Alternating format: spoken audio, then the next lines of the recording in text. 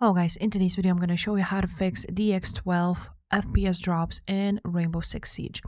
So first of all, uh, there's an option to do this by going on graphics settings. Just write down graphics settings on your search bar and go there. After that you will see advanced graphics settings. You want to click on that and you want to try to toggle off variable refresh rate and see if the problem was fixed or not.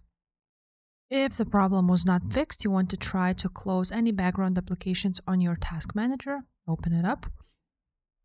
On task manager, you will see here processes. You can go ahead and see which has the most impact on your CPU and memory, and you want to go ahead and close them. And after that, see if the problem was fixed or not. Uh, now you also want to go ahead and uh, turn off MSI Afterburner, disable it.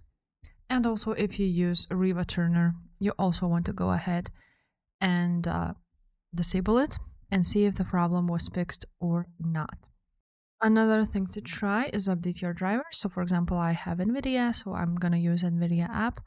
Um, if you use AMD, you want to open up AMD app and go here on drivers at the top.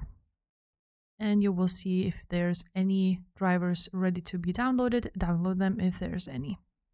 You also want to check for game updates right there on Steam if you are using Steam or Ubisoft, wherever. Uh, and after that, you want to go ahead and click on Properties, Installed Files, and verify integrity of the game files. This will fix any missing or corrupted files. And the last thing to try is open up your temporarily files. So you can find them on Settings, then go into system and then scroll down and, and you will see storage, go there. And here you will see temporarily files. You want to open them. And as you can see, there's DirectX shader cache. So you want to go ahead and delete it. And after it will clean up the files, um, your problem should be fixed. So if this video was helpful, guys, make sure to subscribe and I will see you next time.